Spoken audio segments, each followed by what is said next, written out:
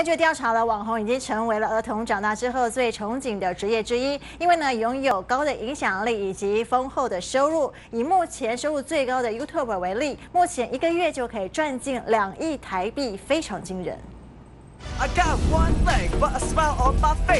在这个网络当道的时代，到处都是网红。但您知道这些网红的收入都是从哪里来吗？For me personally, as sort of a content creator, I give motivational speeches. That's my primary income. I've written books. I do sometimes sponsored posts. I view, as far as financially, my job is sort of an ecosystem of different revenue streams. 一般来说，网红收入总共有六大来源，包括平台之星、广告业配、打赏赞助。通告活动、周边商品以及付费订阅。What I am motivated to do is make content that's good enough that people actually want to pay me for it.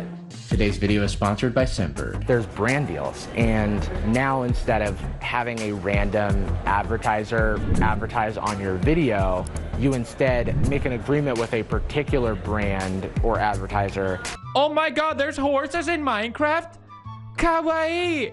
根据科梦波丹杂志的统计，目前收入最高的网红是网络游戏实况主 PewDiePie，月赚六百五十万美元，相当于两亿台币。目前他的 YouTube 频道订阅人数高达一亿人。至于第二名，也是来自美国的 Duke Perfect，月收入两百八十万美元，折合台币八千七百万。他们的影片以不靠剪接的神技著称。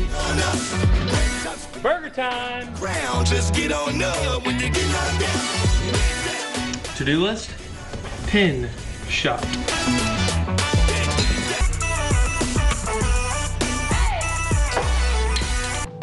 排名第三的 YouTuber 是来自加拿大的方爱文，他的爸爸是华裔，妈妈是韩裔，现年才二十七岁，平常喜欢打曲棍球。